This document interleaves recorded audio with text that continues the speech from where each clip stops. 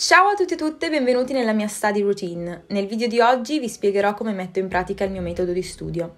Nelle i vi lascio altri video riguardo se vi interessa. La mia routine scolastica è divisa in due parti, lezioni mattutine e pomeriggio.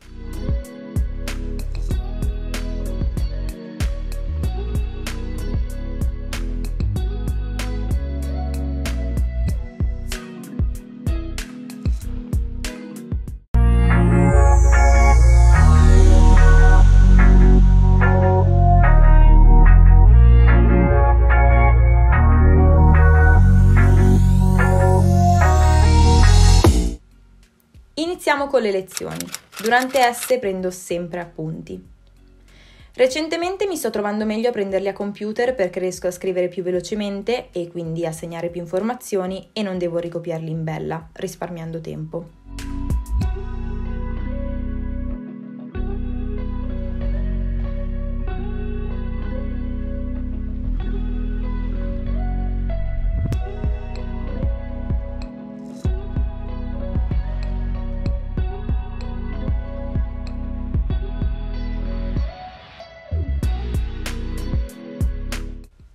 Inoltre, in questo caso stavo prendendo appunti di storia dell'arte, riesco a inserire le immagini direttamente da Google Docs, così da avere l'opera di cui si sta parlando sotto gli occhi.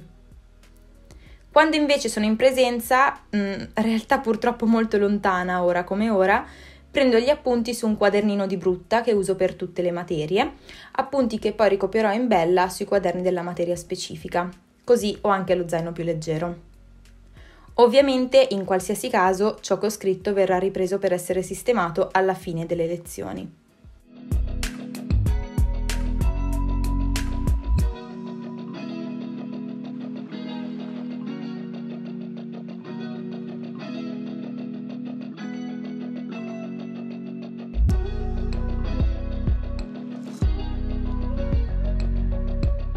Parlando proprio di ciò che faccio alla fine di una lezione, un passaggio fondamentale è segnare i compiti, le pagine da studiare, gli approfondimenti assegnati e gli eventuali giorni di verifica o interrogazioni con gli argomenti. Io utilizzo questa agenda di Moleskin presa su Amazon, vi lascio il link nell'info box se volete acquistarla.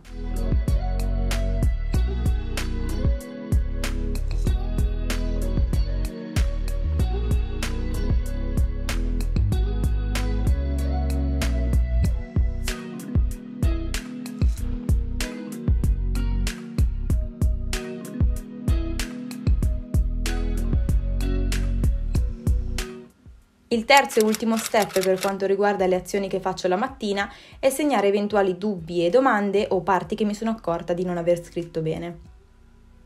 Facendo ciò fisso le informazioni che ho bisogno di recuperare o di farmi rispiegare alla lezione successiva. E così mi sono accorta che evito la spiacevole situazione di trovarmi a studiare con delle parti mancanti o del tutto incomprensibili che mi fanno solamente perdere tempo. E aggiungerei anche che puntualmente queste spiacevoli situazioni si verificano quando mi sono ridotta all'ultimo a studiare, inducendomi una crisi di panico o un attacco d'ansia, mm, insomma. Vabbè, sorvoliamo. La pausa pranzo è senza dubbio la mia parte preferita. Ci tengo a fare una piccola parentesi, ovvero che per questo pasto cerco sempre di non mangiare alimenti troppo pesanti, zuccherati o elaborati per evitare l'effetto del sonno improvviso subito dopo. Solitamente mangio delle verdure come contorno a un uovo o hamburger vegano oppure direttamente un'insalata. Altrettanto importante per me è prendere una pausa di circa 30 minuti dopo essermi alzata da tavola. nella quale programmo il mio pomeriggio e sto un po' sui social, leggo oppure disegno, insomma mi dedico a qualche hobby.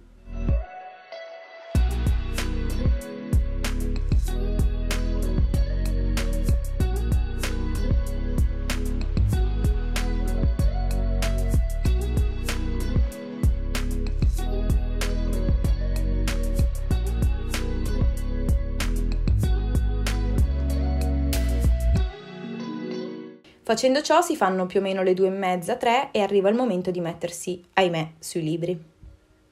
Per quanto riguarda l'organizzazione fissa per il mio pomeriggio di studio, tendo a fare i compiti scritti prima. In realtà non ne ho praticamente mai, per cui i miei compiti sono ricopiare gli appunti o sistemare i file di Google Docs.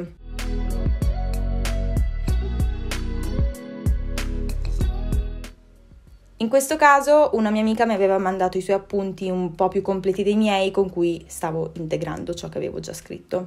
Questa fase dura mezz'oretta, massimo un'ora. Un altro aspetto che non cambia mai, non importa di quale materia si tratti, è il fatto di alternarle. Ad esempio, questo pomeriggio dovevo studiare sia francese che tedesco. Ho iniziato con francese, cambiato con tedesco e poi sono ritornata francese. Questo penso aiuti il mio cervello a rimanere più attivo, ma è una caratteristica soggettiva, magari anche una mia convinzione e poi ognuno fa come meglio crede, come pensa sia meglio per la propria persona. Nello studio mi aiuto con un'app scoperta da poco che si chiama Focus Plant ed è la versione gratuita della più conosciuta app Forest. Con questa si può praticamente bloccare il telefono per un determinato numero di minuti che decidete voi, al termine del quale riceverete delle gocce per annaffiare le vostre piantine ed espandere il vostro giardino. Sembra stupido, ma io lo trovo un modo divertente per motivarsi che vale la pena provare. Comunque, in questi primi 45 minuti ho sottolineato del materiale di francese e ho iniziato a studiarlo.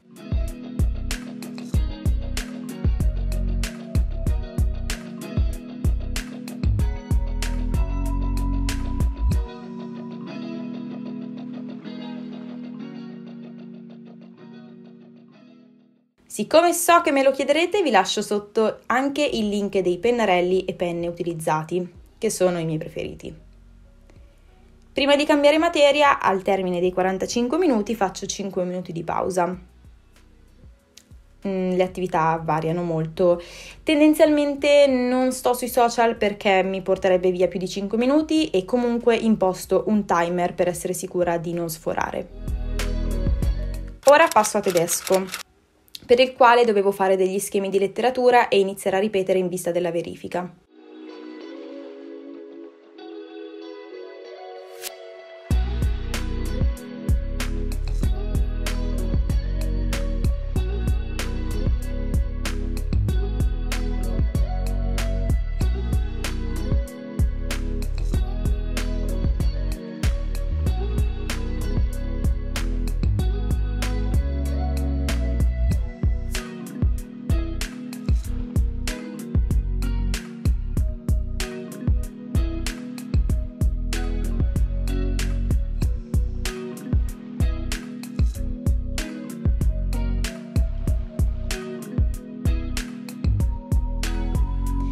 Il fatto di ripetere ad alta voce mi aiuta a capire se sono pronta o meno e su quali argomenti devo concentrarmi di più ed è un passaggio che faccio per tutte le materie discorsive.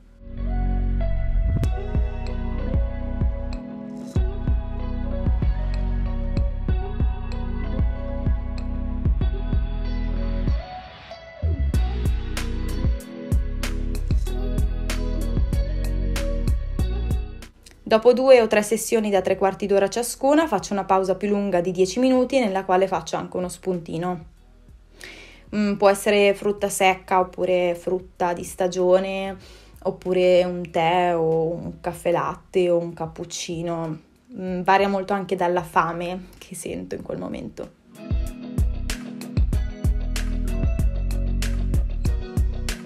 Infine mi rimetto a studiare francese, sempre ripetendo a voce alta. Bene, anche questo video è finito, spero davvero che vi sia piaciuto, se così mi raccomando lasciate un pollicino in su e fatemi sapere qui sotto com'è la vostra study routine, così magari posso prendere spunto anche io da voi e posso migliorare la mia e condividere la vostra esperienza con gli altri potrebbe aiutare qualcuno che magari non si trova d'accordo col mio punto di vista a trovare il suo personale metodo di studio. Iscrivetevi a questo canale se non l'avete ancora fatto, attivate le notifiche per non perdervi le prossime uscite e se vi va andatemi anche a seguire su tutto il resto dei miei social che come al solito vi lascio qui sotto nella descrizione perché sono abbastanza simpatica anche lì. Io vi mando un grosso grosso bacio e noi ci vediamo al prossimo video.